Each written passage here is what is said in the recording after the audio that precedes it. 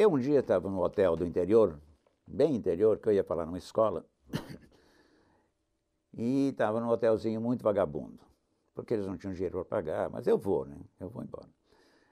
E fui fazer barba de manhã, e era um dia de manhã de chuva, tudo meio escuro, a luz do banheiro era uma luz amarela, eu mal me enxergava no espelho, o espelho tinha um defeito. E uma hora, quando eu me inclinei para o espelho, minha orelha fez uma coisa assim. Como esses espelhos de parque de diversão. Aí eu fui fazendo a barba e brincando, né? Virava essa aqui, depois virava essa. E ao mesmo tempo eu ouvi um ruído assim, tic, tic, tic, tic.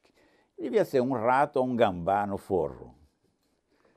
E aquilo eu fui com aquilo na cabeça, fui tomar café e falei, que engraçado. Pronto, anotei na hora.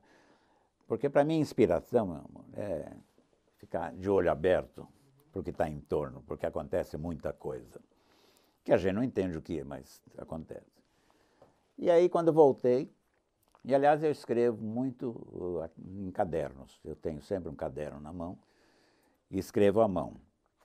E mesmo lá, no, voltei para esse hotel, mais tarde não tinha o que fazer e fiquei. Um homem que vai fazer barba e a orelha começa a crescer. Aí ela cresce até o ombro. Mulher. Aí ela cresce até o peito. E aí ela cresce. Aí eu falei, por que não vai crescendo sem parar? Qual é o motivo? Eu não sei. Milhares de coisas acontecem sem que a gente saiba o motivo. Está aí todo dia. E aí essa orelha vai crescendo, crescendo, crescendo, até toda aquela uh, catástrofe, vamos dizer, entre aspas, que a orelha cresce enche o quarto, enche a casa, vai para a rua. As pessoas começam uh, a comprar a orelha, pegar, cortar a orelha para comer. E, só que a orelha uma hora ameaça a cidade. E qual é a solução? Matar o homem cuja orelha crescia. Na minha cabeça, eu nunca penso que, por quê, o que, o que significa. Cada um interpreta do jeito que quiser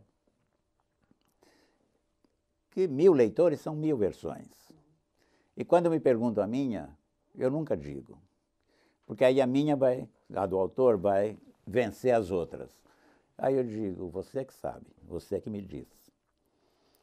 Mas várias versões é de que quando existe uma situação que as pessoas não entendem, quando existe uma pessoa diferente, quando existe algo que começa a perturbar, qual é a solução que os homens, que os maus políticos, que as elites, coisas, sabe?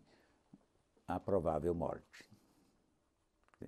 Que é um recurso extremo da, da coisa. Então, um, esta é uma das interpretações que me foi dada.